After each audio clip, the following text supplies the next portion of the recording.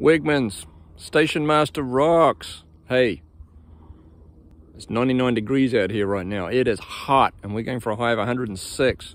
I'm out here doing my job. Hopefully you're in there doing your job.